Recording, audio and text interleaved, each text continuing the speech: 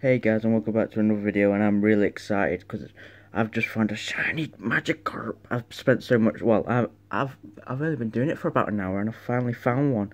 But I've spent so much time, well I've, I've done so many days trying to find one and the feeling was just awesome. Anyway, I'm really scared and I don't really want to mess about with the thing. Hold on, just give me a second.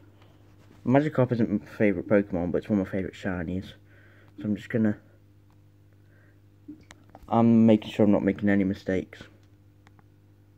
Holy shit, he looks so sick. I didn't mean to swear, but he looks sexy. I'm not going to be recording for too long because I'm literally sweating because I'm so scared that I'll make a mistake. Ugh. Ugh.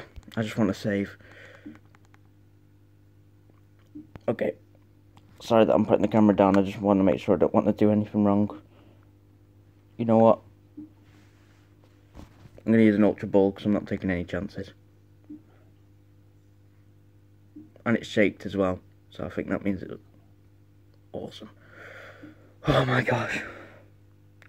Thank God.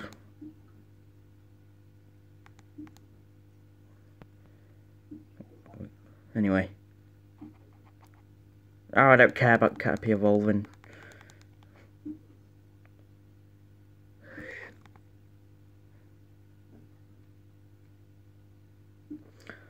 Yes, please. Uh, hold on.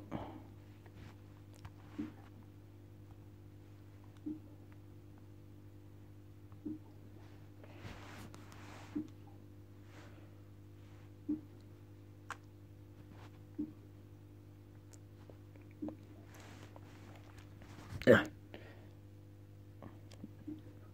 Anyway.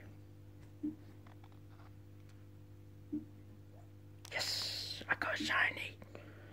Well, I can finally retire. Anyway, I hope you guys enjoyed the video, and I'll see you next time.